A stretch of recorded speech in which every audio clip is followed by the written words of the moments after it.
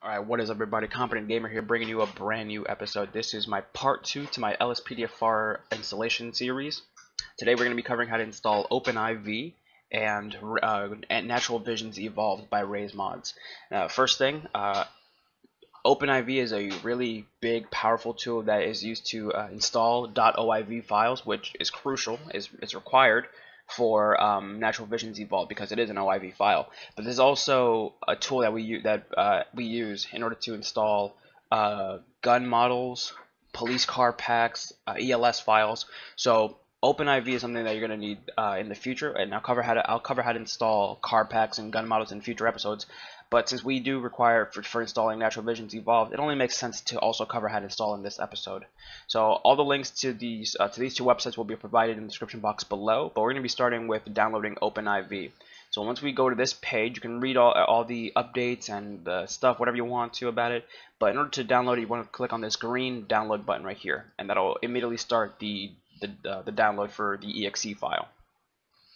Now, for Natural Visions Evolved, this is uh, behind a paywall. It's it's through Ray's uh, Patreon, so it's only available for uh, Gold members or higher. There's also Platinum, but it's available from Gold. So the least you could uh, you have to spend for this mod is ten dollars.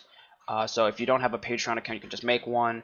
Uh, link up a, a, credit card to it or a debit card and then pledge those $10 and once you do get that status and you refresh the page and everything, you'll unlock patron post. And one of these posts uh, is the download link for the newest uh, Natural Vision Evolved uh, mod. The most recent one is the July update. I'm pretty sure a new one is coming in the next few days or so. I could be completely wrong. I have to look into that again. Um, but once you unlock this post, you'll have a download link that'll take you to the to another download link. Uh, so then you will cl click this download link, and that'll take you to another page where you can start actually downloading the file for Natural Visions Evolved. Now, I already have this mod installed, so I'm not going to click that, but that's what you'll need to do in order to uh, to download it. So when you'll hit that download button, and the download will install, and then I'll show you what to do next.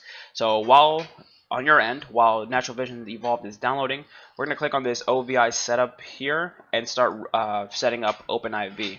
So for OpenIV, is OpenIV is only uh, available in two languages, English and Russian. It's gonna do a setup. You're just gonna you're just gonna accept the terms of agreement. Okay, continue.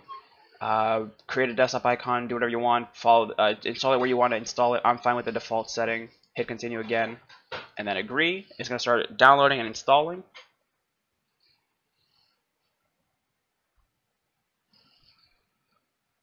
And there you go. OpenIV has been successfully installed. So we're just going to close this out. Close out all this.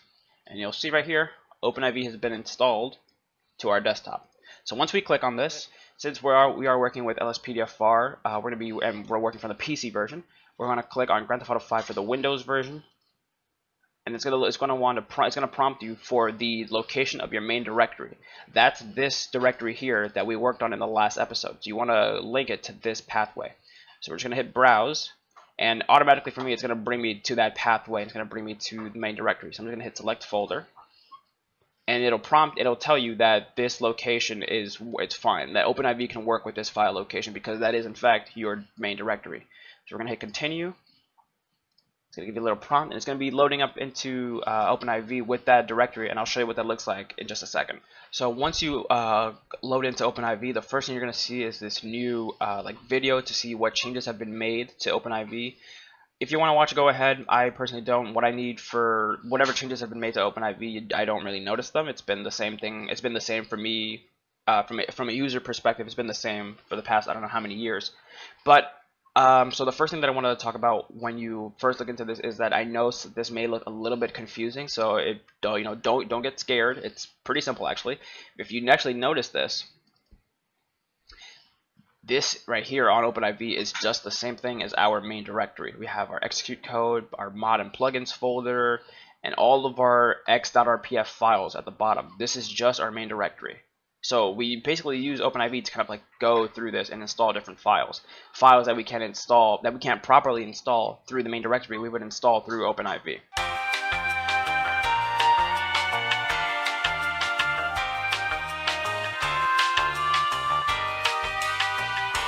So two things that we need, or actually, uh, yeah, two things that we need to do uh, in OpenIV before we actually start working with Natural Visions Evolved is we need to load in some ASI files. So we need to click on Tools and ASI Manager. And here, we need to install, as you can already see, I already have them installed, but we need to install ASI Loader and OpenIV.asi. It tells you right here what these uh, what these loaders and .asi files do, but we need to make sure that both of these are installed because this is going to be really important not only for Natural Visions Evolved, but for also installing different uh, mods in the future using OpenIV, and I'll get into that in a later episode. You also have the option to install the Open Camera, which uh, enhances the, the limitations of the camera. It kind of like makes it it makes it available so that when you're in Rockstar Editor, you can push the camera farther than than the base game would allow you. I personally don't really care for it that much. I use uh, Rockstar Editor to make my thumbnails for, for uh, LSPDFR episodes, but I'm fine with the default settings. I don't really need to install this, so I'm not going to, but if you want to, you're more than welcome to. So with that out of the way, we can actually now start uh, working with Natural Visions Evolved. So we're going to click on this zip file. Here we can see a bunch of files. Now the README, you know, if you want to read it, go right ahead, but that's that's why this installation video is here for you, so you don't have to read this. So what we're going to do is we're going to create a new folder, and we're going to extract all four of these files into that new folder. Now I've already done this. So I just I, I named it NVE for Natural Visions Evolved, and I suggest you do the same. So what we're going to do is we're going to open this folder, and we're also going to open our main directory.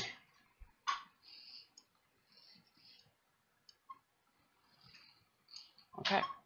Now the first thing we need to do is we need to, let's just work our way down. We're going to click on ENB, and here we get to choose which uh, graphics settings we want to use uh, Natural Visions evolved in. We have low settings, which essentially, you know, it changes the graphics, but it also makes it also makes sure that you're you don't get hit with an FPS drop, so that your FPS typically stay around the same range as as if you were in the base game. Medium settings, you'll see some uh, FPS drops, which this is where usually what I work with, and then ultra settings, you'll definitely see a, a an FPS drop because it's going to be a huge uh, graphical change to the game. Um, I'm rocking a 2070 Super, so I, I don't know if my game's going to be able to handle this, but just just for just to show you guys, I will I will run um, I will run uh, the ultra settings. So what you're gonna do is, so what you would do here is you would pick whichever one you wanted, uh, whichever setting you want to work with, ultra, medium, or uh, or low. They all have the exact same files, just different settings. So I'm gonna work with ultra. I'm just gonna click, gonna hold on, you're gonna highlight those, copy them, go into your main directory, and paste. And there they are. And backing out of there, we're going to go to our main files. And all we need to do, actually, I think we might be missing a file. Let me just look real quick.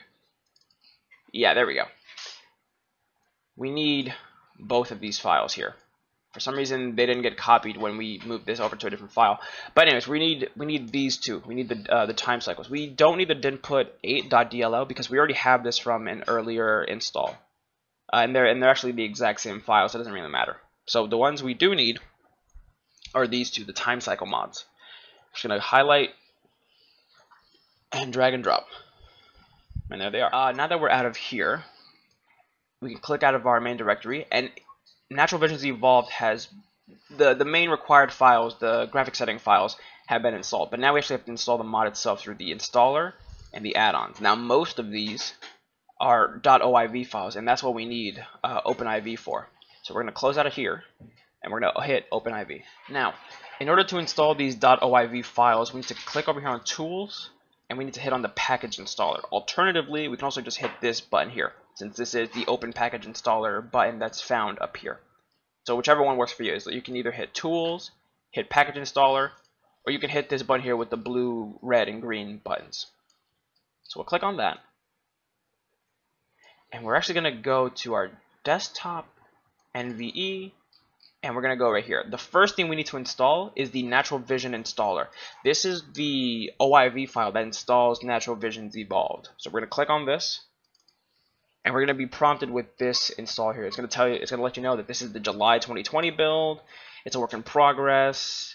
Uh, these are some things that are that are not complete or not finalized, and this is just like some rather some other information. So we're just going to click on the install button here And we're always gonna install this into the mods folder. Like I've said in the previous video, we want to make sure that we don't bring these mods into GTA Online if we ever play in GTA, GTA Online because we don't want to get banned uh, by Rockstar. We don't want to get flagged. So we always install mods into the mods folder. So we're going to click on mods. And we're to shoot, we're to click install. Alright, and at this point Natural Vision Evolved has been fully installed. However, there are also some optional files that we can uh, install in order to tweak our game and make it a little bit uh, more visually appealing. And I'll show you how to do that in just a bit. Okay, now that we're back to our NVE folder, we'll notice that we have one folder here that we didn't touch. It's the optional add-ons folder, and what this has, it has a bunch of different uh, like OIV installers uh, in order to add different things to the game. And the last one it has here, so we have all these are all like things we can add to our game to like make it look a little bit better. We have an uh, additional car, an add-on car that we can add to our excuse me, that we can add to our game. And then here we have the Natural Visions uninstaller. So we had the installer here. Here we go. We had the installer here. Now this is the uninstaller. So if we wanted to remove Natural Visions Evolved, we would run this OIV file. Now, it looks a little confusing because there are a lot of different folders, but all of these basically are, just folders that say, you know, what you do or don't want to add to the game. And if you do want to add them, what it does is it has an install and an uninstall OIV file. So if you wanted to install the new street lamps, which basically turns the street lamps from yellow to blue, you would run the install OIV file. And you would play in the game for as long as you want, and if you wanted to get rid of it, you would run the uninstall file. So I'm going to be working with the uh, the new street lights the brighter emergency lights. And I think that's it. I don't really want any of this other stuff. I'm fine with the default trash. I don't want to hide the weapons reticle right now. But for now, I think we're just going to do the street lights and the brighter emergency lights. And I'll show you how to do that. So if we actually go over here to OpenIV, and we hit on the package installer again, we just go here, and let's go to the new street lights. Oh, what did I just do? There we go. Go to the new street lights, and we would run the install OIV file. Uh, so we're just going to install that. We're going to click over here on this install button. Again, we're going to install it to the mods folder. Confirm installation, and we're just going to let that run its thing. There we go. Now we have the we have the option to run Grand Theft Auto 5 right now, but we're not done yet. We still want to install more add-ons. Okay, the second thing I want to install is the brighter emergency lights for LSPDFR. Now you'll also notice that this one comes with the performance boost what it does is it takes the bright emergency lights and this performance boost and it puts them into one installer. So this might be something that they'll get rid of uh, in a future update where they'll just get rid of this one because it's already included here. Or maybe, you know, if you don't want the bright emergency lights but you do want the performance boost, then they're already separated. But I'm going to hit this one and I'm going to hit this one and I'm going to hit the install because I want to install the brighter emergency lights plus the performance boost. And so right here, it's going to increase the intensity of all emergency lights. Uh, it's going to remove some excessive glow, and it also comes with a boost, uh, the performance boost add-on, which will improve uh, FPS. So we're going to hit the install button into the mods folder again. We don't want to get banned. And we're going to hit install. And we're going to hit close. Now at this point, for me personally, I am already done with this. I don't want to install anything else. If you do want to install all these other things, I personally don't use FiveM or Rage MP. I don't uh, play LSPDFR like um, uh, multiplayer, uh, so or in, in those like settings. So I never look at those. If you want to, I suggest looking elsewhere. And then other this stuff, I don't want to change the alternate star field because I do enjoy the uh, the Milky Way that's provided in the game. I don't want to change the trash because I think that just adds something that to, that I'm really not going to notice. Uh, and then I do like the wet roads effect, so I'm going to keep that there. In addition, just for the tutorial sake, I'm also going I'm also going to go uh, install go ahead and install the uh, custom car that's included with this mod just because I know some people are pretty interested in that. So we're going to hit the package installer and we're going to work, I'm going to install that uh, Hypersport car. And it'll let us know here that this is the, the game, this is the, the vehicle, it's in high quality. This is the spawn name for the vehicle. And we can spawn it using a trainer. So we already have Simple Trainer installed. So we'll install, we'll uh, spawn that vehicle once we get in game. So we're going to hit install into the mods folder and confirm. Okay, and with that installed, we can exit out of this folder here, and we can exit out of OpenIV. And I want to show you something that a lot of people have had a problem with, and I don't think that they realize this. Natural Visions Evolved works similarly to the way Rage Plugin Hook uh, works in that the ENB series and the Rage plugin hook will both try to attach their, themselves to the game instance at the same time, and this is what happens. Uh, this this will crash the game. So if you just let's say if you wanted to play LSPDFR with uh, with Natural Visions Evolved, as I've done in my previous episodes, if you click on Rage plugin hook to run LSPDFR, your game is going to crash because both uh, Natural Visions Evolved and Rage Plugin Hook are hooking onto GTA 5 at the exact same time, and the game just can't handle that. So what you need to do instead, instead of running uh, Rage Plugin Hook, we first need to run Grand Theft Auto 5. So we'll click on Grand Theft Auto 5 and let that run first. And what that will do, that will run the ENB series without uh, letting Rage Plugin Hook hook onto the game. So and what you and you'll know that um, that you installed ENB proper or Natural Visions Evolved properly if you get this load up screen, the Natural Visions Evolved load up screen. And if you have this if you have this popping up in, in your screen, you know that you successfully installed Natural Visions Evolved. And at this point, the ENB uh, series for Natural Vision Evolved has hooked onto the game instance. And what we can do is once we get to the uh, to the startup menu and we can uh, change our settings and change um, and uh, and and you know load into the game, this is where we can uh, this is where we can actually hit Rage plugin hook in order to uh, into in order to load that in as well. So we're gonna hit Alt Tab, and then we're gonna click on Rage plugin hook, and then we're gonna let that game we're gonna let that hook onto the game instance. Just give it a minute. It's gonna validate the hook, load up everything, and go to the bottom left corner. And now we can go back to Grand Theft Auto 5. And when we hit story mode, it's gonna be it's gonna start loading into Rage Plugin Hook. So that is how you get around that crash. You can't have both the ENB series and Rage Plugin Hook hook onto the game instance at the exact same time because it's gonna be too much for the game to handle and it's gonna crash. All right, everybody. Now, if you made if you managed to get through that workaround, you should be greeted uh, with LSPDFR working properly and NVE installed, you'll notice that the game looks a little bit crisper, a little bit more sharper. Uh, you can notice that the lights are a little bit more brighter. You can notice like the uh, the ground here, especially like the brick are a little, is a little bit more textured, and the game just has a bit of a, a sharper, clearer feel. Now again, this I'm running the ultra settings, so I'm, i get a pretty nasty dip in, in frames. Uh, typically, with the medium, medium settings that I usually run for my own LSPDFR series, I see about 60 to 70 frames per second. Depends where I am, if I'm in the city, if I'm in the county, if I'm running in a pursuit. But I usually get around 60 to 70 frames per second. Right here in Vespucci Beach, just walking around, I'm getting about 39 to 45 frames per second. So it's a pretty, pretty nasty dip in uh, in frames. Of course, this really, uh, this your the graphic settings really comes down to a uh, your hardware. Shut up. That really comes down to uh, oh, these guys want to fucking fight. Shut up. Um, that really comes your your choice really comes down to your uh, your hardware, the, the, the kind of hardware that you have if you're even able to uh, to run the mod, and your preference if you want the because it's really it really is a struggle between graphics and and performance because you can have like really really nice graphics but you'll have a nasty dip in uh, in performance. Or you can have a slight change to your graphics but maintain the same frames. So it really comes down to what you want to do. So two things that I want to or three things that I want to uh, highlight in this uh, video here is the uh, the new custom vehicle the new hyper uh, the hypersport vehicle that we installed. So let's go to vehicle spawning search for vehicles, and I believe the code was WMLYKAN. And here is the Hypersport car from uh, Natural Visions Evolved. And you'll notice that with NV installed, the reflections, uh, kind of like the, the shine to the cars are much more pronounced. And you'll even notice, you'll notice that too in the default cars as well.